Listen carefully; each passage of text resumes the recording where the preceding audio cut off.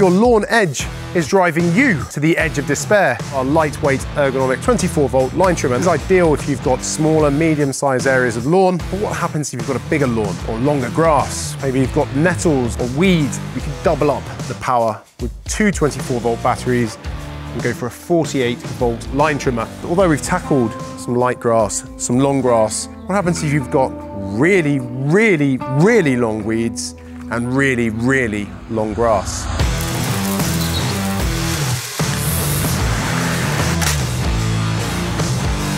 And that's when you're gonna need a brush cutter. And that's exactly what it's gonna do. It's gonna cut through brush, thicker brambles, thicker grass, longer grass. You might wanna clean your camera, mate. And the way you transition from string trimming to brush cutting is to use the tools that come included, obviously following the instructions. And a quick tip to make sure when you're tightening and loosening that nut at the top there, it's actually counterintuitive. Normally it's righty-tighty, loosey-lefty. It's the other way around because this is a reverse threaded screw.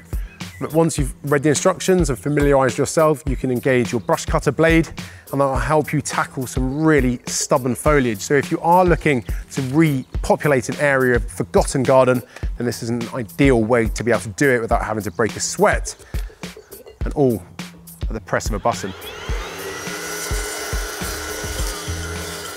You know what we haven't done on these? What? See how tough they are? No, Tommy, that's another video. Come on. To be continued. No. No, it's going to be continued right now. Right now, let's do it. Welcome back to our toughness test. In this toughness test, we're actually doing something more diligent than usual. Instead of throwing an obscene amount of objects against the tools to see if I can break them, this time around we're going to pit them against the task that they've been designed to tackle. So we've gone to our top secret testing location just outside the town of Macclesfield.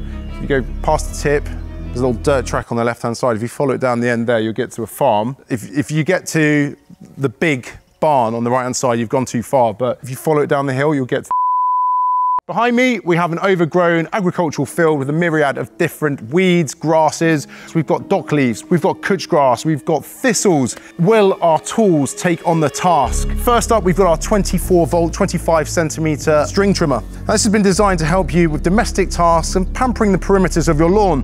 But can it tackle the rough stuff? We've got the 48 volt, 35 centimeter string trimmer.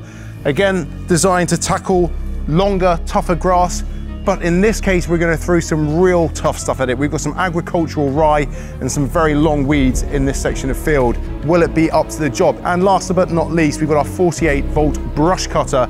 And playing the part of brush perfectly today is a four foot wild thistle, spiky, stiff, and perfect fodder to test our brush cutter.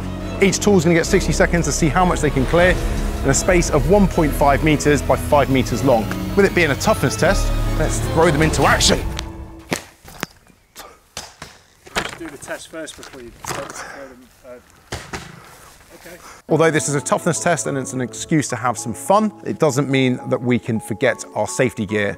In this case, I'm going to be wearing headgear, face visor, gloves, and some steel toe cap shoes. And as with any clearance work, we've done a preliminary check to make sure that there's no animals nesting and that there are no dangerous foreign objects.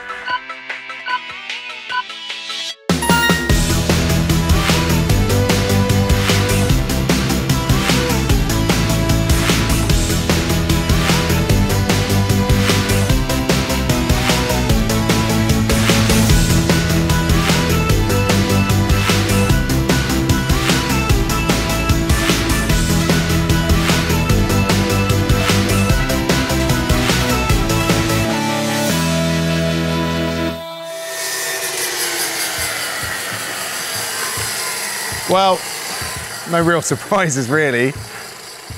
I got a big smile on my face because this was incredibly satisfying. I mean, can I show you actually on the brush cutter? It doesn't even look like it's been used.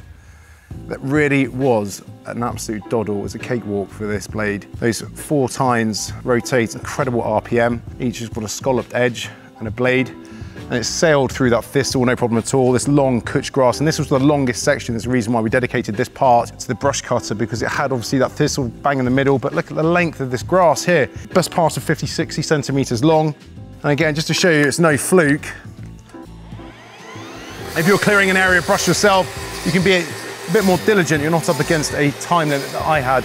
So I was pressing on as quickly as I could, but even still, it's whipped away all of that surface thatch and down to the ground level in most cases with a very clean cut. Now what needs to happen is this loose matter to be cleared up. But shout out to the 24 volt, 25 centimeter line trimmer Remember, this is designed for lightweight applications. This has been designed to help you pamper the perimeters of your lawn, not to really take on vast areas and swathes of long grass. In this case, upwards of 30, 40 centimeters. And again, big, thick agricultural rye. And it's done a fantastic job and it's done a really tidy job and it did not miss a beat once. It kept going all the way through. Incidentally, we've used the same batteries across all three tools. I started off with a 24 volt 4 amp hour battery. I then took that to the 48 volt and then I took both those 4 amp hour batteries over to the 48 volt brush cutter. As to be expected, with the 24 volts tackling about half the paddock, the twin string string trimmer, the 35 centimeter, that extra length and that additional string and that extra power means I was able to propel through even longer grass. We were sailing through dock leaf and dock stem as well with those two strings. And we've done a vast amount of clearance work in the space of 60 seconds, but it's inevitable, wasn't it really? Brush cutter, hands down winner.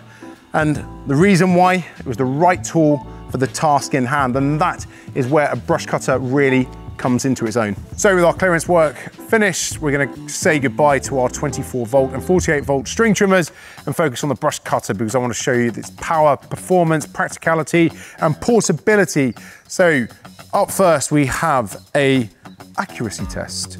First of all, I'm gonna cut through the sellotape, closing this box, show you the control that you have of the tool and the accuracy and the profile of that blade and then I'm probably gonna obliterate the cardboard box just because I wanna have some fun. Then we're gonna tackle some really woody, tough stuff. So this is bamboo. These are old, dry cuts of some Phyllostachys aurea from my garden. So these have now become incredibly woody, incredibly dense. And if you've ever used, used bamboo in your garden for running canes, you'll know how durable and tough these are. We wanna get rid of those neatly, quickly, and effectively. Then, it's called a brush cutter for a reason. So let's cut a brush but will it help us cut through traffic? You're supposed to laugh at that bit, Paul. Yeah, I'm gonna cut through a traffic cone. And then, last but not least, we're gonna go through some real brush. Now, I've dug this out of the hedgerows here, so there's a bit of old windfall. Some of it started to rot away, but that's where the brush cutter will come into its own because you may encounter something like this underneath all that overgrowth. Now, I'd always advocate that you check the area first, but if you did encounter this, will it beat that type of brush? There's only one way to find out. Start the test. Up first, the cardboard box. Made of cardboard in a box-like shape. There is a practical purpose to this demonstration. It just goes to show you that even with that high level of RPM at the end, and that, that first class, very fearsome looking blade, you are in complete control of the tool so you can be as accurate and as tidy as you like with your cutting. But how destructive can we be with it?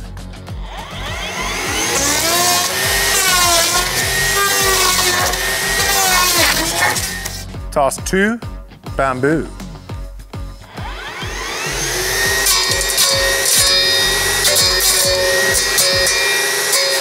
that was the most pointless task. It just killed those in seconds try getting like cleaner cut with a set of conventional secateurs. Very neat. On to the next one.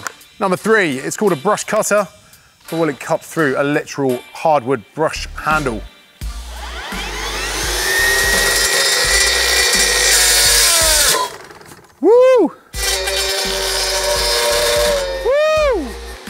Now, for anyone who's thinking, surely that's an easy task, no, we didn't cheap out. We used my wife's most expensive household brush and some seasoned hardwood handle. So that is a pretty mean feat to go through that. But we're not finished yet. So we need to cut through some traffic.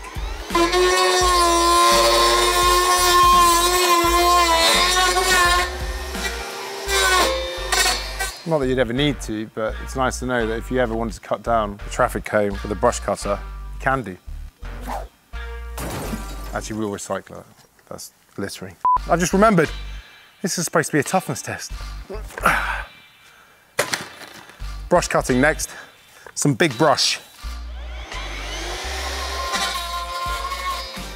This is not the kind of thing that you should be using your brush cutter on. I wanted to prove that if you did encounter some old windfall or some seasoned branches, then you're not going to damage the tool. And most importantly, you're not going to damage yourself when it's in operation. And to prove a, a, point, in fact, this cut through upwards of three inches of seasoned branch, which I've dug out from the hedgerows here. It's no mean feat. Normally you'd have to use something like a chainsaw to do that. We did it with a brush cutter. And I'm confident that I've still bags of potential on that blade to be able to tackle all of this clearing around me. And plenty of charge in the bank too. Now, if you're looking to beat some bush of your own, or maybe you just want to pamper the perimeters on your lawn, there's a whole host of different tools to help you both out in the garden and in your home. And all you need to do to find out more about them is check the link at the end of the video. Thanks for watching.